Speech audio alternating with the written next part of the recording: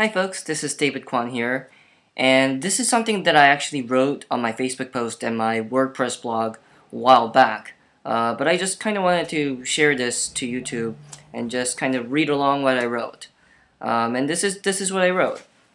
I'm now technically an American citizen, uh, but I watch when I watch a Korean movie or a TV show, I do get really emotionally attached to that culture and heritage There's this Korean adage that goes uh, "피는 못 속인다," which means you can't deceive your blood. It's a saying that I personally had uh, had an issue with because let me translate the saying. It, it kind of means that um, we are defined by our genes. That you can't tell. You can tell actually. You can tell who's father and son by seeing the, how similarly they behave because you can't you can't deceive blood. Blood will determine your genes will determine who you are and what you are. Uh, in an even larger context, it, it's kind of um, it's kind of a patriotic stance. It's, it's saying that there's this fundamental difference between one group of people compared to all other groups of people.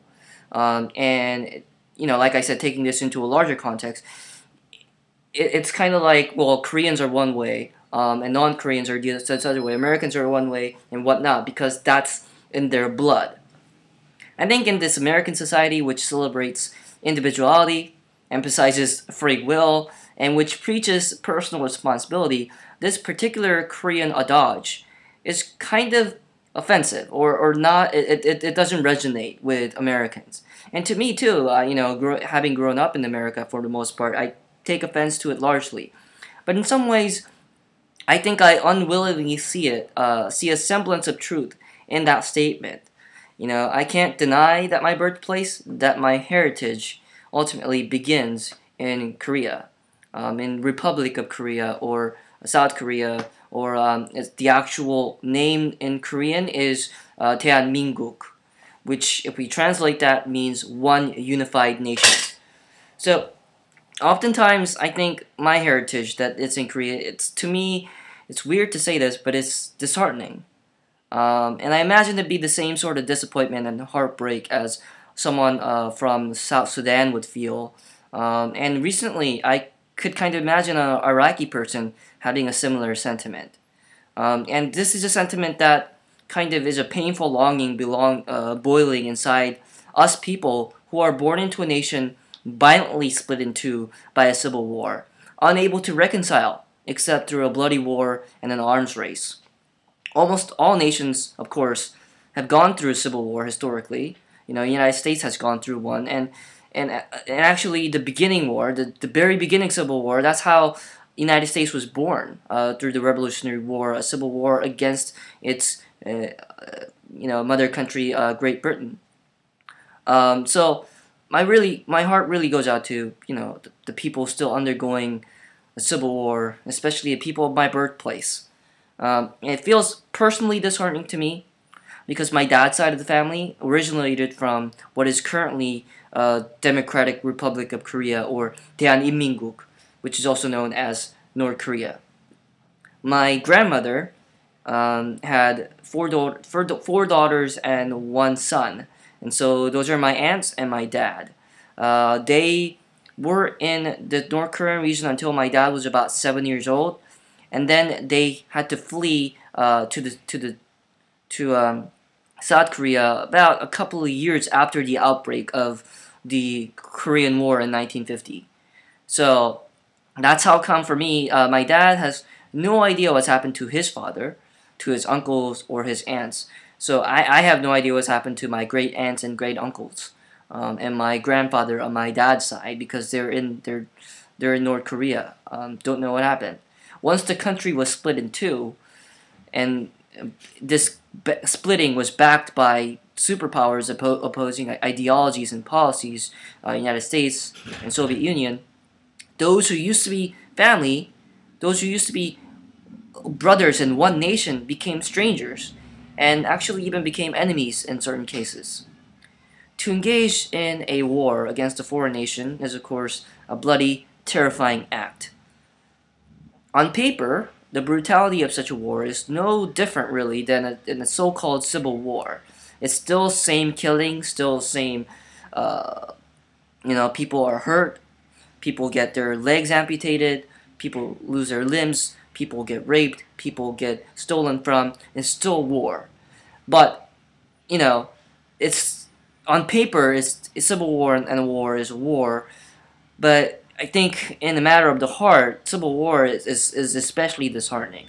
Because there's nothing civil about a war between those who share the same blood. In practice, this kind of war really strikes deeper into the heart. It really is heartbreaking to have what was one what was one nation now be killing and raping each other in the name of well, in South Korea, our justification was national defense.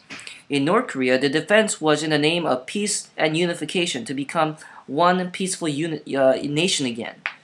Those are the rationales used by two different countries, and what ended up was this horrific situation of civil war and and and a ceasefire that currently the war hasn't technically ended, but that's kind of where we are. Um, Vietnam was once in a similar situation, you know, splitting of North and South like this, and historically it gained independence from Japanese oppression largely with the help of the Americans and the Soviets, just like South Korea and North Korea. The two superpowers couldn't agree to there just being one Vietnam and left alone by either superpowers. They wanted to have their own influence in this country, so the country was once split into South and North Vietnam. The South tried its best to defend itself from the North's uh, aggressive desire to be a unified nation once more, but fate wasn't kind to South Vietnam. Well, actually, it wasn't kind to Vietnam overall. The aftermath of that civil war is a Historically, it's an exodus of millions. And for those who remained, what awaited were mass murders, torture, and brainwashing in re-education camps. It's a very tragic fate that the, the Vietnam had to undergo. And that could very well be the future of the two Koreas. If the two brother nations, or sister nations, whatever you, you want to call them, if they, if they were ever unified, chances are high that it would most likely occur via northern aggression and conquest. For one, it's actually politically impossible for the South to do so, to, to attack the North and try to invade and occupy it, because the UN and the United States would not allow that. Even though most right-wing hawks in South Korean government would consider a political suicide to suggest that the South Korea reinitiate conflict. The South has too much to lose in war, and most business owners in that free market, though heavily regulated, society would lobby trillions of dollars and, and won against such a proposition. The South has the more advanced weaponry and the backing of powerful nations such as UK and France, but ultimately, should bullets and shells start flying again, uh, it's the North that has the one with the advantage. With its millions of trained, heavily trained soldiers at its disposal, and a dictatorial style of governance that allows for its populace to more easily engage in brutal guerrilla war tactics. The North is more, also more uh, ideologically geared towards unification by any means necessary, including the conquest and slaughter of his capitalistic brothers and sisters. The South doesn't like the current situation, but ultimately asked to choose between unification between uh, unification via northern aggression or status quo, the South is content with remaining as one of the richest nations in the world, and it is. To be a left-wing hardliner in South Korea politics, it kind of means leaving Korea vulnerable to North Korea's manipulation and aggression. They're labeled as, you know, as wimps, as people not concerned about national security, you know. But the other side, to be a hard right-wing hawk, means really provoking the North Korean into a, a, a bloody conflict, which no one was. So this country, the South Korea politics, has for 60 years been in this precarious situation of damned if you do or damned if you don't. You know, either peace or war is a is a politically hard position to maintain. So it, to me, it's a truly a wonder that South Korea has been able to survive and thrive as long as it has. There's this widespread widespread guilt in in the South regarding this, reflecting the fact that South Korea is one of the richest and most politically free countries in the world. All the while, a nation sharing its blood is one of the poorest and most politically repressive countries in the world currently. But more than guilt, there's also fear. The fear that this poor repressive nation on the northern side is far more stronger and is far more de determined that one day the fate of South and North Korea could have the same fate as Vietnam. All this is to say that it really sucks that there's has to be uh, there had to be two Koreas like this, you know. Uh, pretty recently, I watched this Korean TV show, uh, this Korean drama called Comrades, or the, the actual Korean name is Jeonu. Uh, it's some I think Wikipedia translated as um, Legend of the Patriots, which I think is a horrible name for this movie, uh, for this uh, 20 episode TV show. I think Comrades is more fitting. But it's a story of, you know, of North Korean soldiers and South Korean soldiers back in 1951. And I found the scenes in the show to be some of the most brutal and just heartbreaking I've ever watched. And I'll probably make another video in which I talk about this this TV show.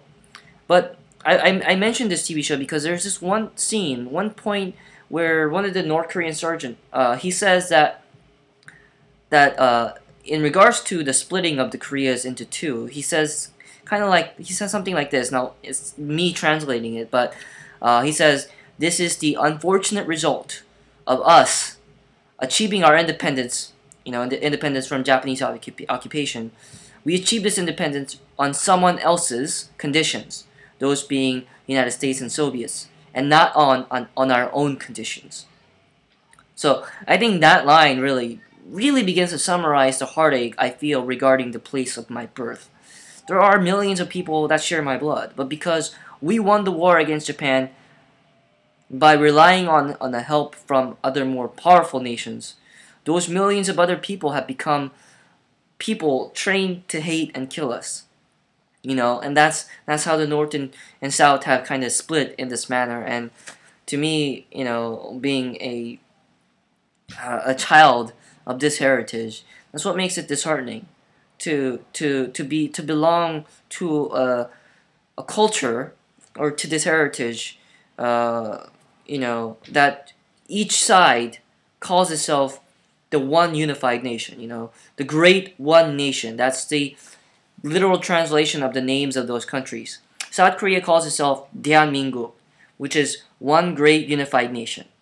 North Korea calls itself Daehaninmingguk, which is one great unified nation by the people for the people. That's the name of the country, honestly. Very similar names, but two very different countries now. Um, even though before it used to be one unified nation of people. But you know, Korea has two. The two Koreas have a very long history. In its 2,000 year history, it has been split many times into three different kingdoms, into four different kingdoms. But there is always the sense that they are the Joseonites, the people of Joseon, you know, um, or Chosun, depending on how your pronunciation is. But the correct Korean pronunciation is Joseon.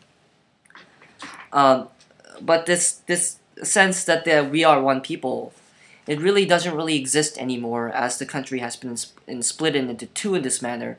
And the two countries are so starkly different in how they're governed and how they live.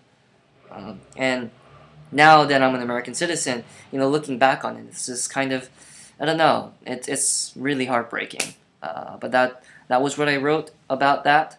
Um, yeah, you guys enjoyed. Cheers.